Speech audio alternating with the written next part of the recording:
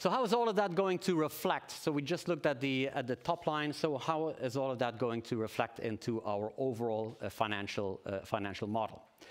Well, this is what we presented to you last time. So let's, uh, let's focus on the deltas for, for 2025. Of course, we did talk about the, the top line, so I won't spend too much time on that. You see that the gross margin we've kept flat in comparison to last year.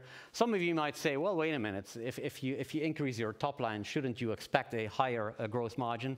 But remember that the mix effect of having more dry business in there is having a detrimental effect. So, so you know, on the one hand, of course, with a top line uh, increase, you would expect uh, an increase in the gross margin, but the mix effect of having more dry business in there probably takes it down a bit. So that's why we keep that at a 54 to 56% uh, level.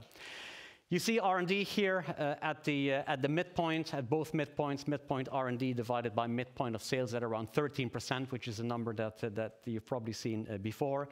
You see SG&A at, uh, at 3.7% uh, of, that, of that top line at the, at the midpoint, which is consistent with where we had it, where we had it last year.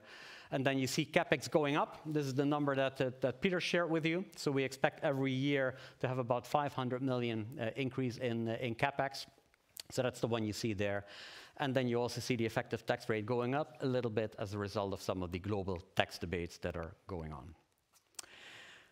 In terms of 2030, we talked about the, uh, the top line. We do believe in 2030 that there is potential to further, uh, further increase the value of our tools to customers, and as a result of that, also further increase our, uh, our gross margin.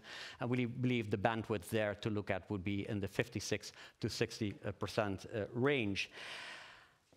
And uh, you know why is that? You know, it's, it's because at that stage we believe we've taken High-NA uh, to such maturity that it, that it will generate the uh, the gross margin that we think uh, High-NA has potentially there.